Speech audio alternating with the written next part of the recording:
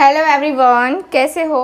तो आज की जो रीडिंग है, ये हम करने वाले हैं। देखेंगे हम आज के अपनी इस रीडिंग में कि आखिर वो आपसे क्या कहना चाहते हैं।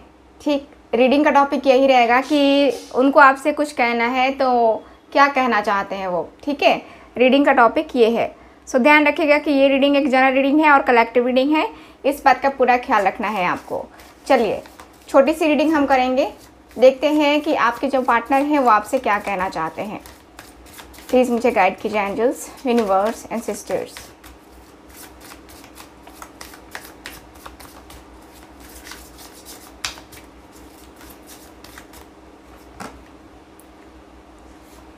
okay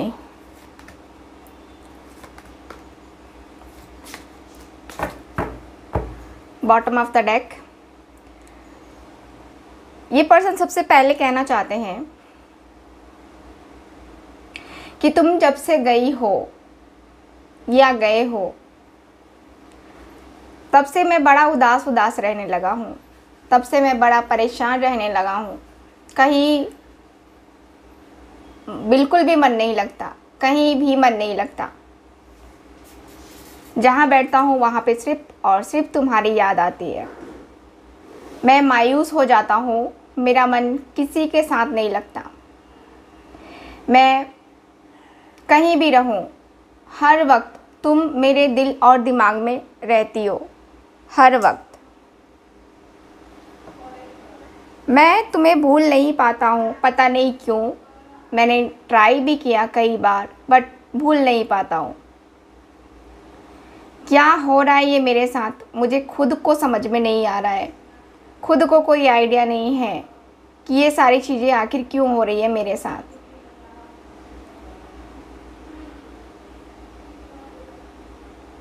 तुम और मैं जब अलग हुए, एकदम से मुझे ऐसा फील हुआ कि अब कुछ नहीं बचा है। अब कुछ नहीं बचा है। मैं मायूस, उदास, तुम चली गई या तुम मुझसे बात नहीं करती हो। तो ऐसा नहीं है कि मैं जो है ना, किसी और से बातें करने लगा हूँ। मैं आज भी तुमसे, सिर्फ़ तुमसे प्यार करता हूँ। मैं आज भी तुम्हारे लिए आँसू बहाता हूँ। आज भी मैं तुम्हारे लिए रोता हूँ। आज भी मेरे दिल में सिर्फ़ तुम्हारे लिए जगह है। सिर्फ़ और सिर्फ़ तुम्हारे लिए। मैंने तो अपने बुढ़ापे तक का सोचा था तुम्हारे साथ कि मैं अपना बुढ़ापा तुम्हारे साथ जीऊँगा। तुम्हारे साथ, बस तुम्हारे साथ। तुम्हारे साथ ही मैंने जीने मरने की कस्में खाई। तुम्हारे साथ जो मेरी अटैचमेंट है, वो अटैचमेंट मेरी किसी और के साथ नहीं बन पाएगी, मुझे पता है और मैं ट्राई भी नहीं करता। मुझे ट्राई करना बनता भी नहीं है। क्यों ट्राई करूँ मैं? जब मुझे किसी और के साथ जाना ही नहीं है। मैं सिर्फ़ और सिर्फ़ तुमसे प्यार करता हूँ, सिर्फ़ तुमसे, और तुमसे ही डीप तुमसे ही डीप अटैच रहना चाहता हूँ। तुमसे ही।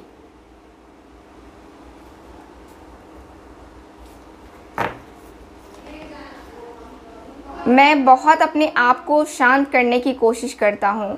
बहुत ज़्यादा अपने आप को कूल करने की कोशिश में लगा रहता हूँ। एकदम। मैं बहुत ज़्यादा एक, बहुत ज़्यादा एक अपने आप को मैं बैलेंस करने के बारे में बहुत ज़्यादा सोचता हूँ। बहुत ज़्यादा बैलेंस करता हूँ मैं अपने आप को। अपने आप का मैं फ्यूचर नहीं देख पा रहा तुम्हारे बगैर। तुम्हारे बगैर मेरा कल आगे क्या होगा? कल कैसा होगा मेरा? मुझे कोई आइडिया नहीं लग रहा है। मुझे कुछ भी पता नहीं चल रहा है। शायद मैंने तुम्हारी वैल्यू नहीं की, तुम्हारी तुम्हारी बातों को नहीं समझा, तुम्हें नहीं समझा। तुम्हारी, तुम तक पहुँचने के लिए एक बहुत सारे लोग ऐसे होंगे जो तुमसे बात करने के लिए तड़पते होंगे, तरसते होंगे। लेकिन मैं तुम्हारी वैल्यू नहीं समझ सका। तुम मेरी ज़िंदगी में आई, मेरी ज़िंदगी में रही, इतने टाइम रही, फिर भी मैं तुम्हारी वैल्यू नहीं समझ सका। क्यों नहीं समझ सका? मेरे लाइफ में इतनी ज़्यादा इश्यूज़ होते हैं, इतनी ज़्यादा प्रॉब्लम्स होती हैं। मैं अपनी लाइफ में एकदम से स्टेबल नहीं हो पाता। तुम्हारे बगैर, तुम थी तो लाइफ में बैलेंस था। तुम थी, तुम लाइफ में खुशियाँ थी। तुम थी तो मेरी लाइफ में बहुत सारी चीज़ें होती रहती थी। बहुत सारी चीज़ें। लेकिन आज आज तुम नहीं हो मेरी लाइफ में। तो मुझे यहाँ पे कहीं ना कहीं लगता है ना कि मुझे पीछे बैक की बातें बहुत याद आती है। मैं आगे बढ़ने की कोशिश करता भी हूँ ना, नहीं हो पाता मेरे से। क्योंकि मेरे दिल में रग रग में तुम ही तुम बसी हो। तुम, सिर्फ़ और तुम, सिर्फ़ और सिर्फ़ तुम। मैं तुमसे मैं तुमसे बात करना चाहता हूँ। मेरी लाइफ में, मेरी लाइफ में तुम इंपॉर्टेंट हो, सिर्फ़ और सिर्फ़ तुम, और कोई इंपॉर्टेंट नहीं है मेरे लिए। मेरी ज़िंदगी में जो इंपॉर्टेंट है मैंने तुम्हें बता दिया कि हाँ वो इंपॉर्टेंट है मेरे लिए। बस, तुम और कोई नहीं। बस तुम चाहिए और मुझे कोई नहीं चाहिए। तुम मेरी लाइफ में इंपॉर्टेंट हो, तुम्हारा होना मेरे लिए लाइफ में इंपॉर्टेंट है। तुम मेरी लाइफ में बहुत वैल्यू रखती हो, बहुत ज़्यादा वैल्यू रखती हो। मेरी लाइफ मेरी ज़िंदगी, मेरी खुशियाँ सिर्फ़ तुमसे जुड़ी हुई हैं और तुमसे ही जुड़ कर के मैं आगे जो भी है वो करना चाहता हूँ, सिर्फ़ तुमसे जुड़ कर के सिर्फ़ और सिर्फ़ मेरी बातें, मेरी एनर्जी मेरी फीलिंग्स मेरे इमोशंस हर एक चीज़ मेरी सिर्फ़ तुमसे जुड़ी हुई हैं। द हैंगमैन मैं रुका हुआ सा हूँ, एकदम से मैं रुक सा गया हूँ अपने लाइफ में। मैं अपना फ्यूचर देख रहा हूँ तुम्हारे साथ, लेकिन मैं अपना फ्यूचर उस तरीके से नहीं ला पा रहा हूँ जिस तरीके से शायद मैं तुम्हारे साथ ला पाऊँगा या जिस तरीके से शायद मैं तुम्हारे साथ आ पाऊँगा। वो फ्यूचर मुझे नहीं मिल रहा है, कहीं नहीं दिख रहा है मुझे, कहीं भी नहीं दिख रहा है। मुझे अपना फ्यूचर ही डार्क दिख रहा है, तुम्हारे बगैर। माना मेरे पास ऑप्शंस हैं, माना मेरे पास मैं किसी और के साथ भी जा सकता हूँ, लेकिन ये पॉसिबल नहीं है मेरे लिए। मैं मैं तुम्हें कमिटमेंट नहीं दे पाता, तुम्हें लगता है कि मेरी ज़िंदगी में थर्ड पार्टी है। ऐसा नहीं है। मैं इन और आउट इन और आउट करता हूँ। तो इसका मतलब ये नहीं है कि मैं किसी और के साथ रिलेशनशिप में हूँ, ऐसा कुछ नहीं है। तुम ओवर थिंकिंग करती हो। मैं तुम्हारे साथ ही अपने रिलेशनशिप में बैलेंस बनाना चाहता हूँ। तुम्हारे साथ ही मैं अपना फ्यूचर भी देखता हूँ। तुम्हें अगर पता हो तो तुम्हें ये भी पता होगा कि तुम्हारे साथ मुझे कितनी कंफर्टेबल फील होती है। कितना ज़्यादा मैं तुम्हारे साथ कंफर्टेबल फील करता हूँ। तुम्हें ये बहुत अच्छे तरीके से पता होना चाहिए। तुम्हारे साथ मेरी बॉन्डिंग कितनी अच्छी है। मैं तुम्हारे साथ तो घूमना चाहता हूँ यहाँ वहाँ बहुत सारी जगहों पे जाना चाहता हूँ। तुम्हारे साथ बस सिर्फ़ और सिर्फ़ तुम्हारे साथ। सो so, मुझे यहाँ पे यही दिख रहा है कि आपके पार्टनर आपकी तरफ़ आने के लिए एकदम से जो है ना यहाँ पे आगे की तरफ़ जो है ना ये बढ़ना चाह रहे हैं। ठीक है? यहाँ पे हो सकता है कि आप दोनों के बीच में लॉन्ग डिस्टेंस आ गया हो। आप दोनों के बीच में वो बातें नहीं हो पा रही हों जो होनी चाहिए। ठीक? लेकिन यहाँ पे यही दिख रहा है कि आपके पार्टनर तो आपके तरफ़ आने के लिए एकदम से रेडी हैं। एकदम क्लियर दिख रहा है कि आपके पार्टनर एकदम आपके तरफ़ आने के लिए बेचैन मुझे नज़र आ रहे हैं। ठीक है? सो so, मुझे यहाँ पे यही दिख रहा है कि पर्सन कहना चाहता है कि तुम मेरा वेट करो मैं तुम्हारी लाइफ में आऊँगा। कमिटमेंट के साथ आऊँगा, इस बार आऊँगा तो। इतना मेरा भरोसा रखो तुम। ठीक है? तो ये है आज की रीडिंग छोटी सी रीडिंग मैंने कहा था आपको। मिलते हैं फिर अगली रीडिंग में। बाय हेलो एवरीवन सो आज हम बात करने वाले हैं ये ब्रेसलेट के बारे में। ये जो ब्रेसलेट आप लोग देख रहे हो, ये है ब्लैक ऑबिसिडियन एंड सेलेनाइट ये ब्रेसलेट है, जिसका कॉम्बिनेशन तैयार किया गया है। ये ब्रेसलेट का क्या प्रॉफिट है? इसकी हीलिंग प्रॉपर्टीज़ क्या हैं? वो मैं आपको बताने जा रही हूँ। तो ये जो ब्रेसलेट है, सबसे पहले तो इसका जो कॉम्बिनेशन है, बहुत ही बेहतरीन है। बहुत ही बेहतरीन तरीके से इसको बनाया गया है। ये ब्रेसलेट जो है, आपके रूट चक्रा को सही करता है। यानी कि रूट चक्रा को खोलने में आपकी हेल्प करता है।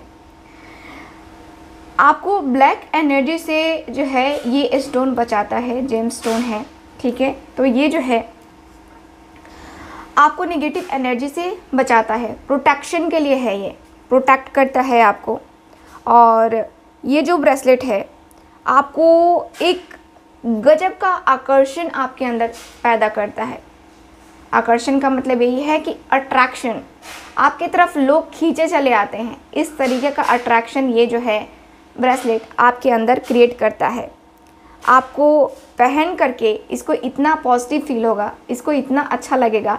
आप खुद को ही अगर जो है देखने की कोशिश करोगे तो आप, आपको लगेगा कि हाँ अब मेरे अंदर क्या बदलाव हुआ है। ये जो ब्रेसलेट है, इसका बहुत ही अच्छा जो है मेडिकल में भी इफ़ेक्ट देखने को मिलता है। बहुत ही अच्छा। देखो, ये तो सबसे पहले आपके सुंदरता को बढ़ाता है। आकर्षण बनाता है, आपको निगेटिविटी से बचाता है, आपके ब्लॉकेजेस को खोलता है, ठीक है?